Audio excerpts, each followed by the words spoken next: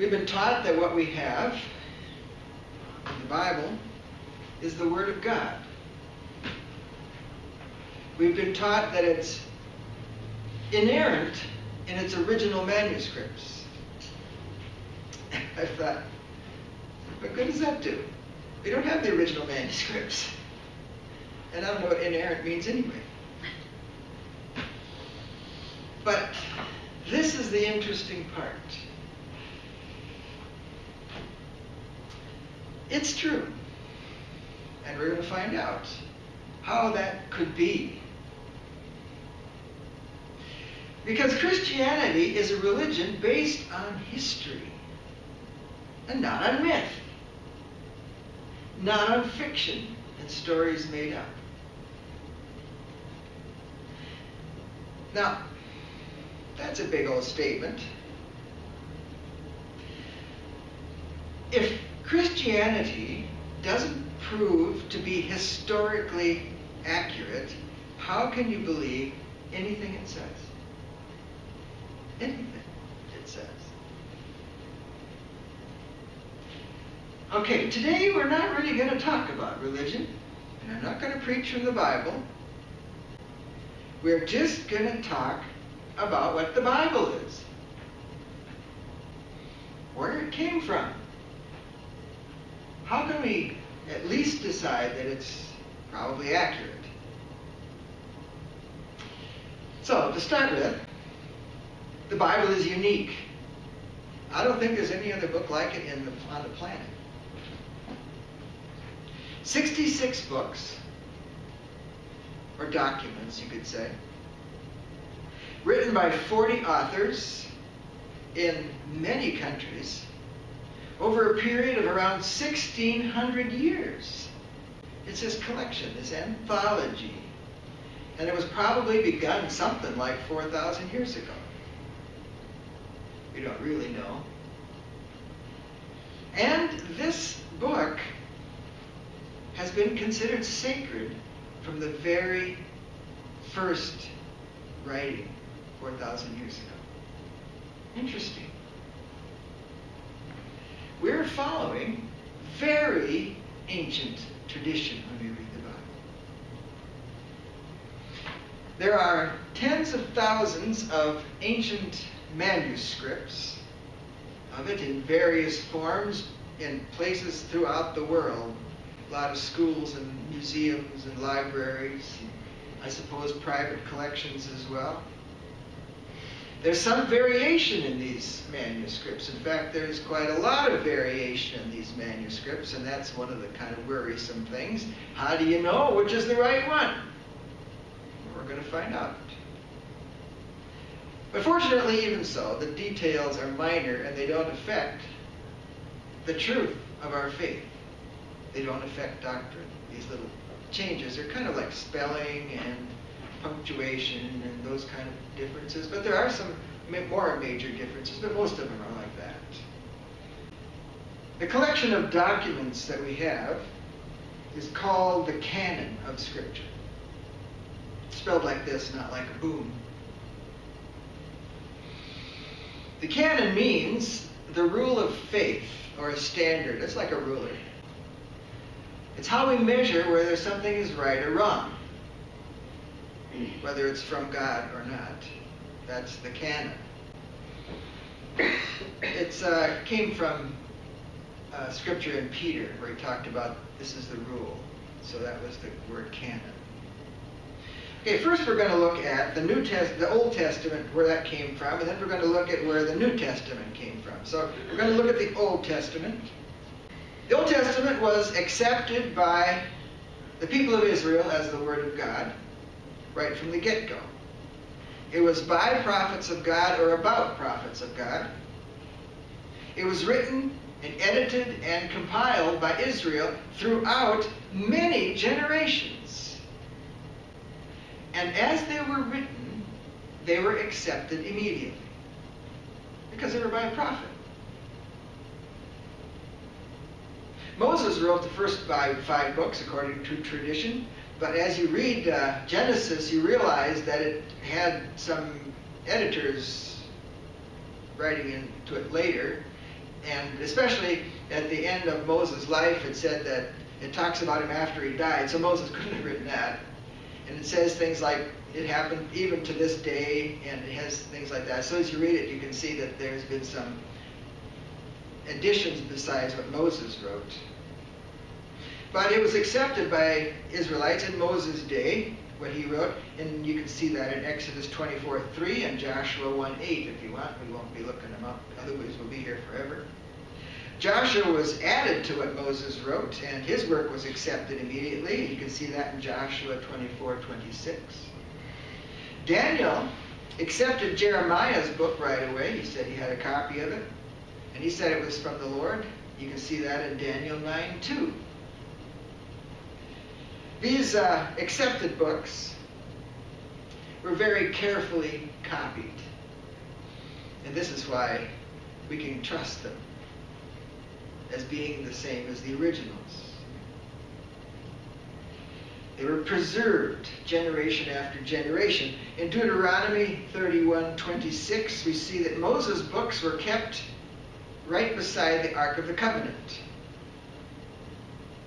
And I, I believe that the Ten Commandments are actually in the Ark.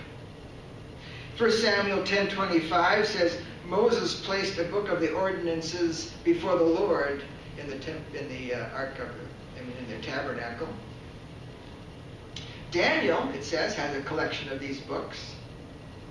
In Josiah's day, the, the books had all disappeared. People completely forgot about them, and they were discovered during King Josiah's reign. And in 2 Kings 23, 24 to 25 and Proverbs 25, 1, it identifies the Proverbs of Solomon that Hezekiah wrote down. And in Ezra 7, 6, we learn that Ezra kept a copy of the books while they were in exile in Babylon and brought them back with him when they came back to Palestine. And then he read them to the people and explained them and they had apparently not heard them before. But this is another interesting thing. Not every book that's written in Hebrew is accepted as the Word of God.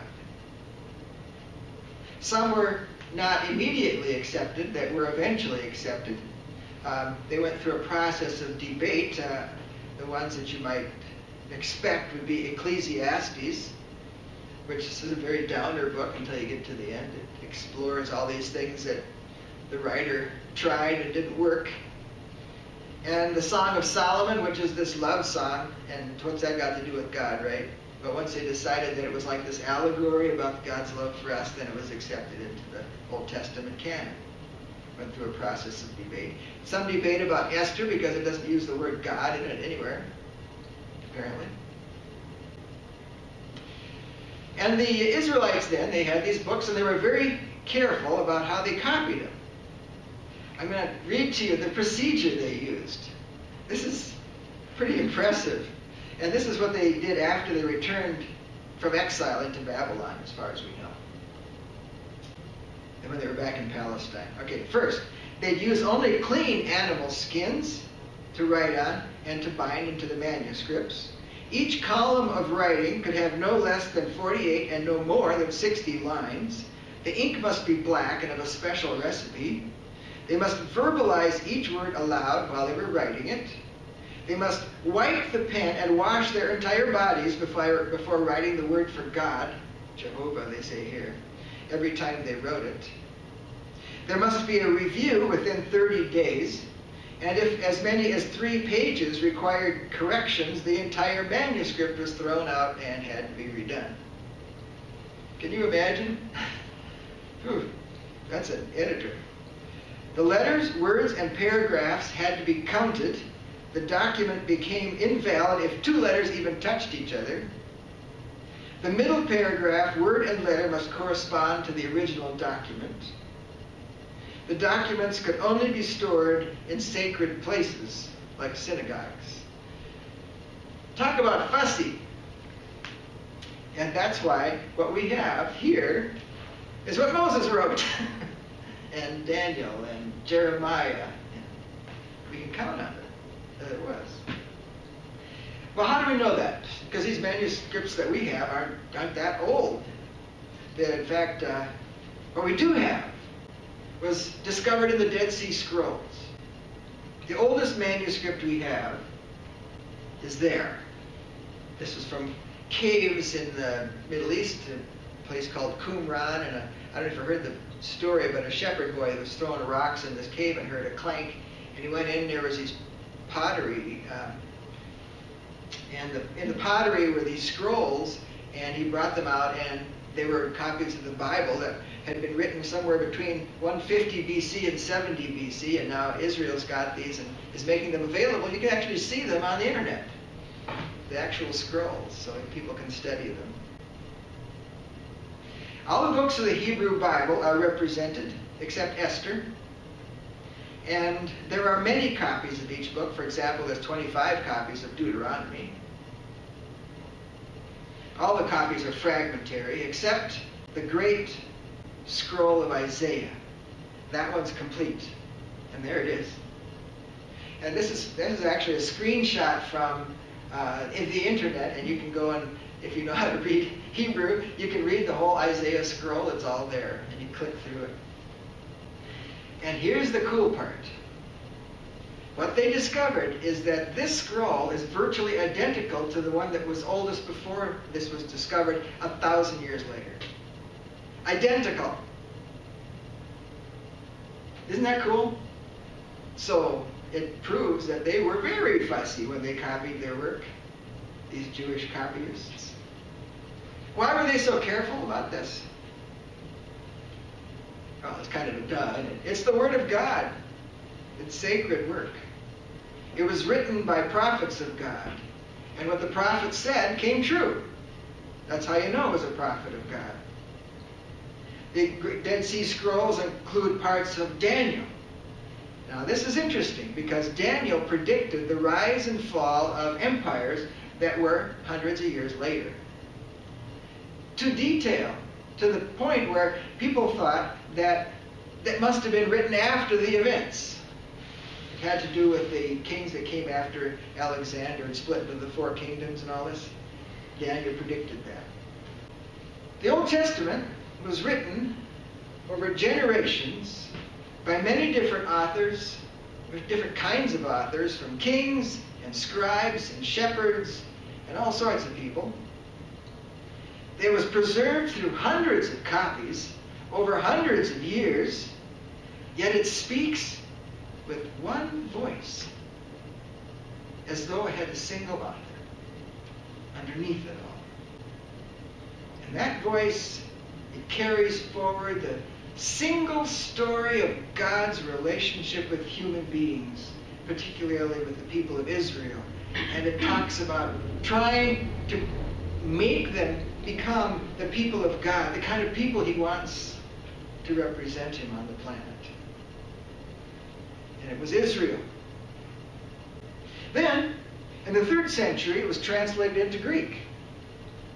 And there's a whole bunch of stories about how that was done. It was 70 scholars that were hired to go down to Egypt and translate this to be put into the uh, library in Alexandria. It's called the Septuagint. It means 70. And this is the other interesting thing about the Septuagint. The people who were in the New Testament period, all the characters in the New Testament, they didn't use the Hebrew Bible. They used this one, this Greek translation, the Septuagint. When they quote the Bible, they're quoting the Septuagint.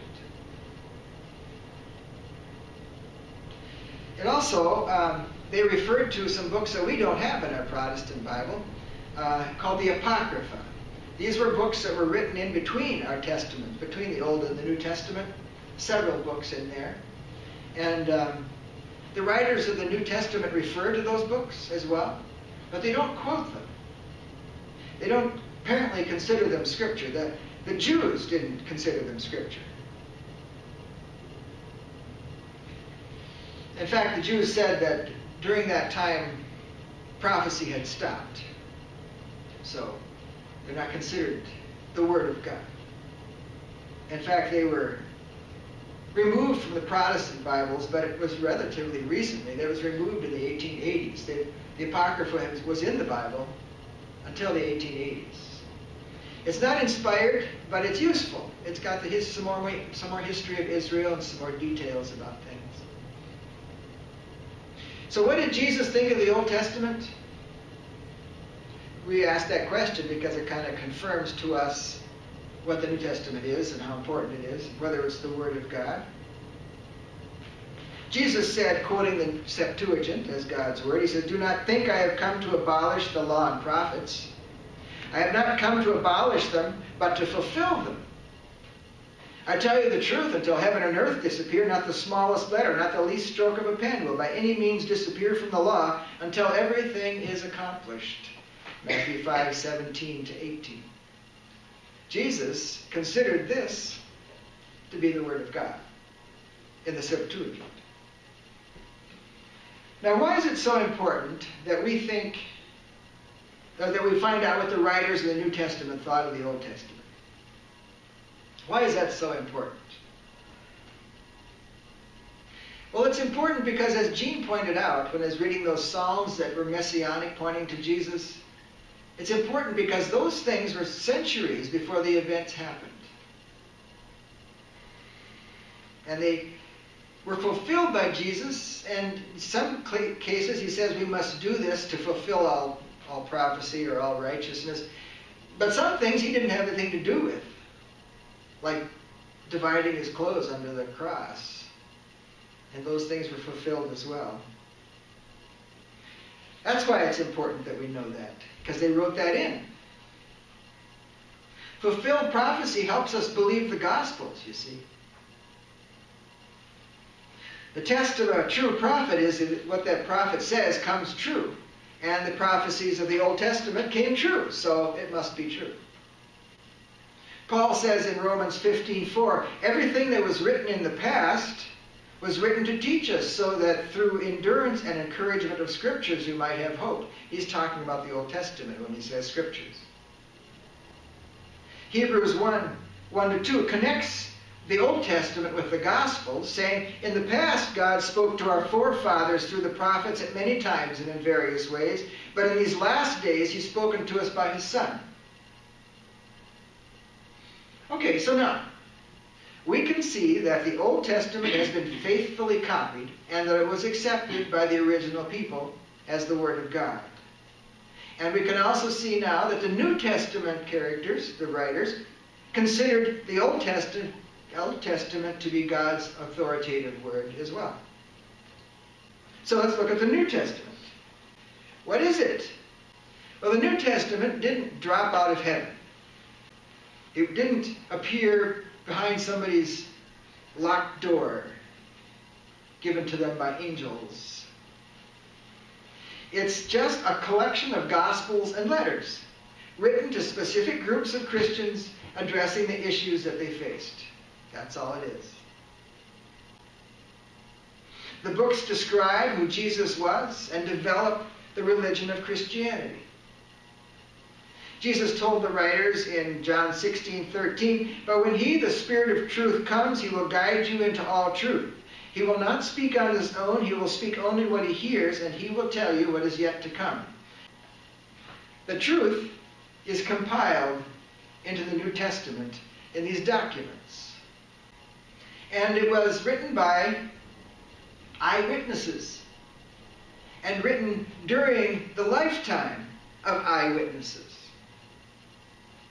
It was written soon after Jesus' resurrection, between 45 and 75 AD. All these documents were written. And Peter, he claims they didn't make up these stories. He says in 2 Peter 1.16, we didn't follow cleverly invented stories when we told you about the power and coming of our Lord Jesus Christ. We were eyewitnesses of his majesty, he says. Now, why is that important, to be eyewitnesses? Why is it important that it was written so soon after Jesus' resurrection? Well, if the stories were invented by these writers, Everybody would know it's fake. Christianity would never have got off the ground. Instead, they knew it was real. It had been the events of Jesus had been witnessed by hundreds of people.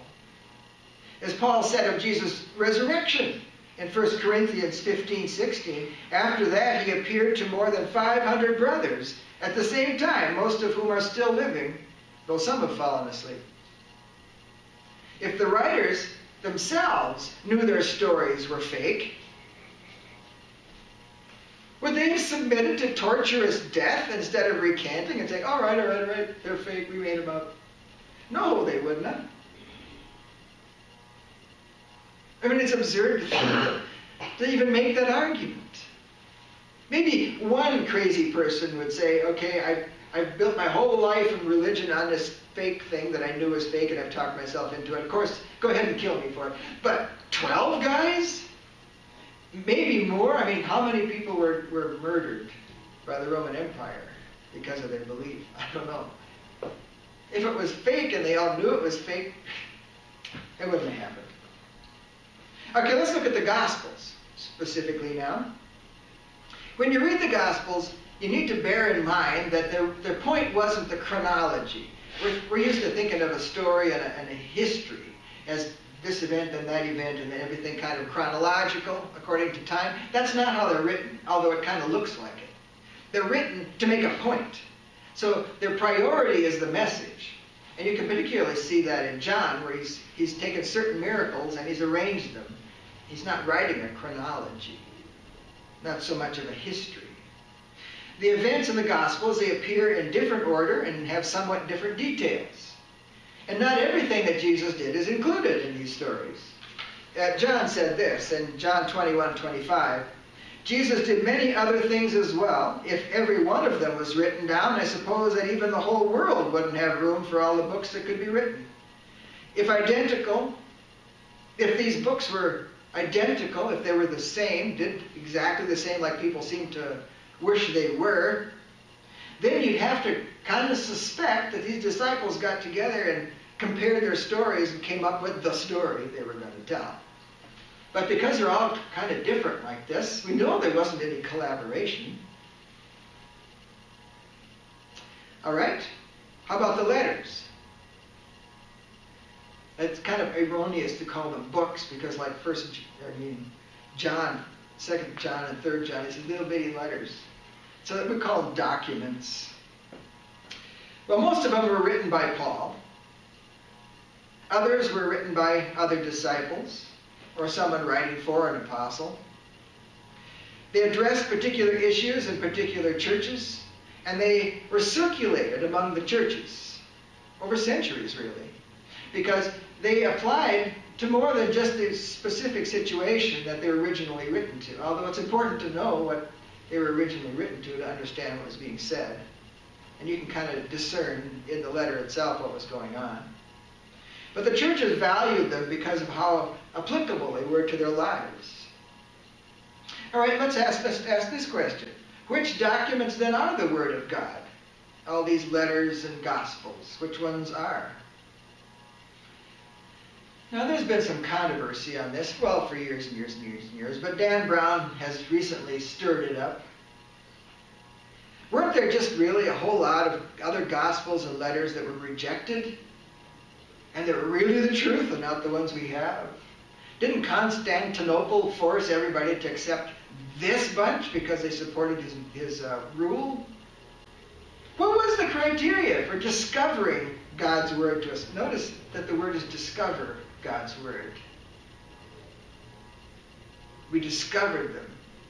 We, we discerned God's word in these documents as they were being used and read. What was the criteria for that? Well, the church used these books for centuries, even though they were written so early. They kept using them. And some came to be used more frequently. People found them more useful. They, they experienced God through some of the books. And those particular books then rose in prominence because people valued them more. And if, if we look back now, you can kind of tell and distill what their criteria seems to have been as they began to select the books that they saw had the Word of God in them. And this is interesting. Here's the criteria. Nobody sat down and came up with this criteria and then evaluated the books. This was, you can kind of see that this was what they were doing through these centuries. Apostolicity. Was it written by an apostle or did it have a direct link to an apostle? If so, perhaps it's the Word of God. Antiquity. The writing must have come from the age of the apostles and not later than that. Anything later wasn't considered to be the Word of God, even though it was probably useful. Orthodoxy. Did it carry on the teachings of the faith as received, or did it contain novel ideas? Now, we can evaluate a book in our day with the same criteria that we've come up to so far. The Book of Mormon teaches novel ideas. It wasn't written in the apostolic age, and it hasn't been accepted by most of the churches. How about Catholicity? Now, that just means it was kind of universal, everybody was using it, and traditional use. Was it already being used by the majority of the local churches? Particularly the most important churches. Apparently, that was Rome, Antioch, and Alexandria. Inspiration. If the book claimed to be inspired, and if it if reading it and understanding it improved people's lives and, and brought them to God in a special way, so that the presence of God was in their lives and they were transformed, it was clearly inspired. The selection process of these books was very conservative. So, you know, some of the books that were rejected might have been inspired. It could be that some of these books that Dan Brown or whoever it is talking about are inspired. It could be. But they weren't universally accepted by the churches. And so, because they're being very selective and conservative about what they're selecting, and they weren't accepted as the Word of God in the canon of the New Testament. All right, now, I said that Constantine wasn't didn't make this edict and so on, and that's the truth. So how did they actually finally come up and decide? I mean, there's a lot of debate about which which of these documents should be considered the Word of God. There was a lot of people were using all different kinds of things, but certain of them rose in prominence, as I said, and it came about in one particular council in the fourth and fifth century. They they said it looks like everybody's using these particular books. And so we're going to say that this particular set of books, set of documents, is the canon of the New Testament. And that was in 397, the Third Council of Carthage in North Africa. It said, okay, we do already have now the canon of the New Testament. And this is already being read and used throughout the church and it became fixed at that point. Comes to us for, with Greek manuscripts, ancient translations, it, it was translated into other languages, and quotations from other Christian writers that were after the apostolic age. They were quoting scripture. In fact, from what I understand, the whole New Testament could be assembled from all these quotations that these it was basically preachers and they were writing down their their sermons. And of these, we have 5,000 Greek manuscripts. It's an overwhelming number compared to other ancient writings. For example, we have nine or ten good copies of Julius Caesar's Gallic War. It's his history. Only nine or ten copies. Way later than he wrote it. Way, way much later. We only have two copies of Livy's Roman history and so on. I could go on. Very few manuscripts. And yet we say we know the history of Rome. We know that Julius Caesar lived based on these manuscripts. But we have 5,000 Greek manuscripts in the New Testament. Many of them much earlier than these other ones. Okay, so that's the process by which we have the Bible in the Greek language we have what was originally written, and we know that. We don't have the original manuscripts, but we see how carefully they copied them. So what we have is what was originally written. The religious communities who assembled it thought it was the Word of God because of its effect on people. Not just that, but because it was written by a prophet and what the prophet said came true. If we believe all this other ancient history we've been taught, based on its manuscript evidence, we certainly have to say that the great overwhelming abundance of the same kind of evidence assures us that the Bible is at least accurate to what the original documents were. Pretty convincing to me. So when it says that it's infallible or inerrant in the original documents, we can say, okay, all right, I get it. What I have is what they wrote. But there is a problem here because there's a heavier burden on the Bible. Because the heavier burden on the Bible is that it's considered the Word of God and not just some Roman history.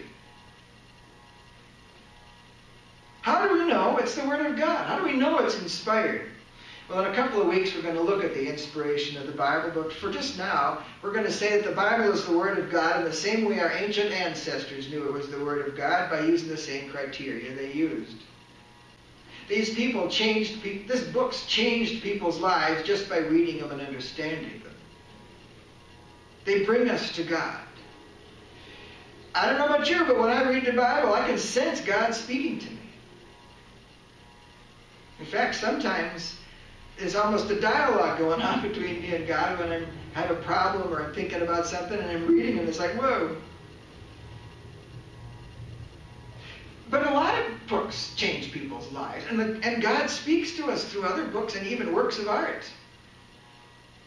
The difference is that these books bring people to God and His salvation. They tell us how to be in a relationship with God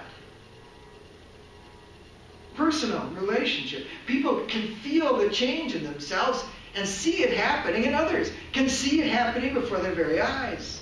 These books change people for the better. I remember seeing a, a young woman in a church we were some time before. and The first Sunday she came, she is all kind of hard in her eyes and kind of a bitter person. And the next time I saw her, she was peaceful in her eyes. In a week. I said, What happened to you? you? You look so much more peaceful than you did last week. And she says, I accepted Jesus as my Savior. Like, what kind of evidence do I need? Well, today we've seen that the Bible accurately brought down the Word of God through the ages into the ancient Greek language. We haven't brought it into English yet. We're going to bring it into English next week.